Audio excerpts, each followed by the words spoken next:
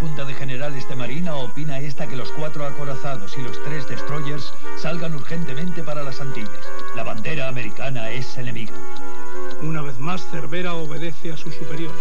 Desde hacía tiempo venía expresándole sus opiniones sobre el envío de la flota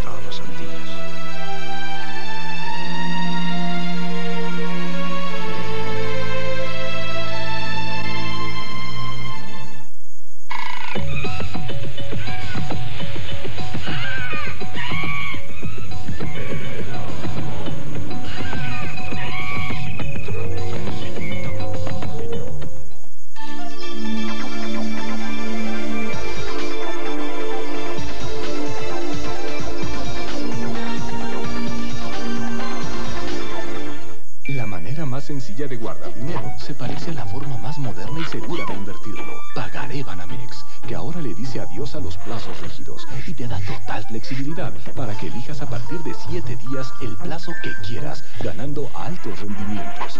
Como siempre, lo más sencillo es lo mejor. Lo nuestro está en el 11. Festeja tu mente y musicaliza tus ideas con Sectacore. Las víctimas del Doctor Cerebro. La gusana ciega. Control machete. Tex Tex.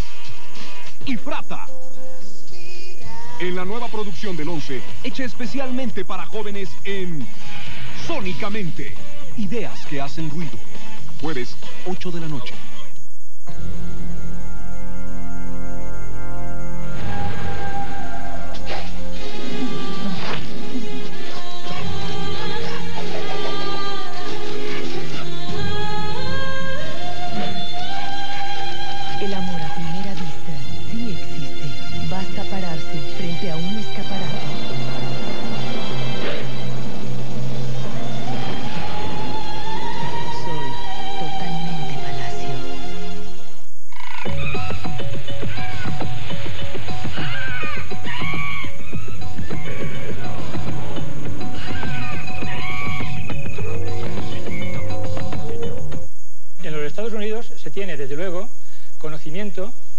que la escuadra del almirante Cervera... Ha... ...español se hace el primer disparo de la guerra hispanoamericana en Puerto Rico. Es el 10 de mayo de 1898.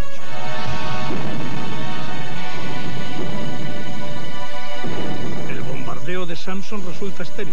Dewey, desde el buque insignia Olimpia, para enfervorizar a sus hombres, ordena izar en ladriza del mástil de popa una señal que en el código de banderas conforma la frase Remember the Maine.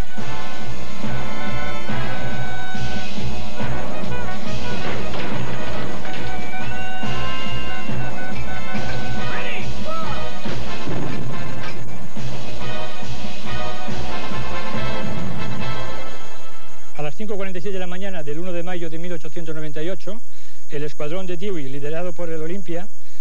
La escuadra americana apenas tuvo daños y solo ocho heridos en el Baltimore. Se dijo que Cavite había sido un tiro al blanco contra los barcos españoles.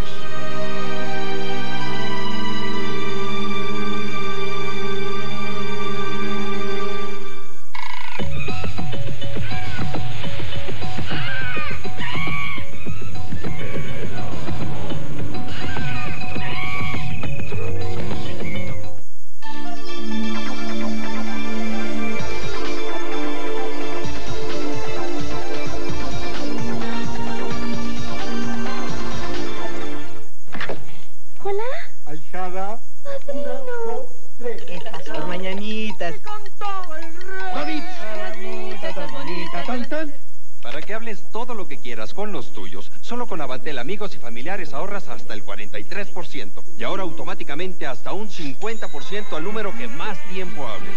15 primaveras.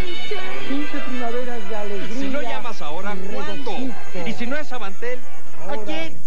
Boleros y un poco más. Y grabado tu nombre. Ayer temprano salía de misa a través del tiempo, música nos ha dejado bellos legados.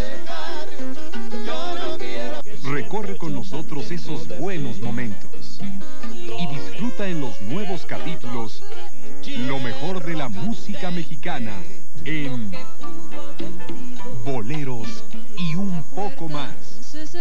Sábados nueve y media de la noche.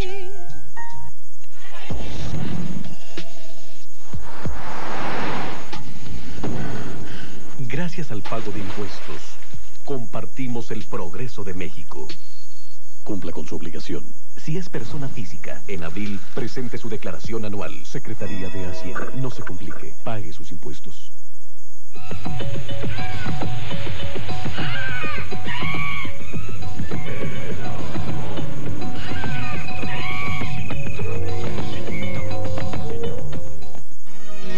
Noticia del desastre de Cavite llega a España en el curso de una corrida de toros.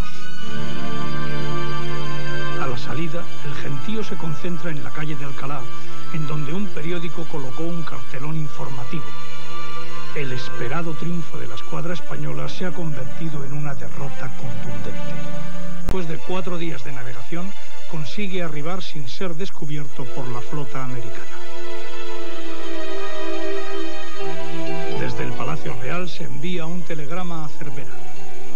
Su Majestad me manda que en su real nombre felicite a vuestra excelencia por la pericia demostrada y salude tripulaciones escuadra, cuyo... de un periódico de la época y de, también de nuestro tiempo, La Voz de Galicia, la prensa española no le anduvo a la zaga a la americana en amarillismo, jingoísmo y despropósitos. En aquel tiempo de desmesura y despropósito, puede decirse que eran pocos los que pensaban lo que decían, pero aún eran menos los que decían lo que, pensaban. Prácticamente ningún... Españoles. Por otro lado, también había una diferencia muy importante, pues mientras la convicción norteamericana en su futuro parecía compartida por los sectores de opinión y por quienes afluyeron a su ejército, en cambio, en el caso español, había una diferencia muy marcada entre lo que los responsables del gobierno pensaban y su opinión pública.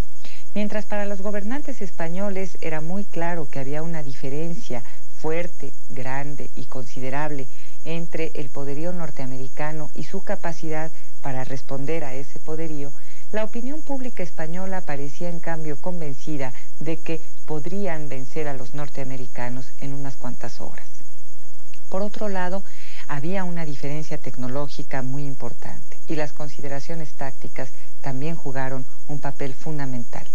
Cabe señalar que los oficiales españoles hicieron todo lo que pudieron para defender sus posiciones, a pesar de que no contaban con el mismo tipo de recursos que sus contrapartes norteamericanas.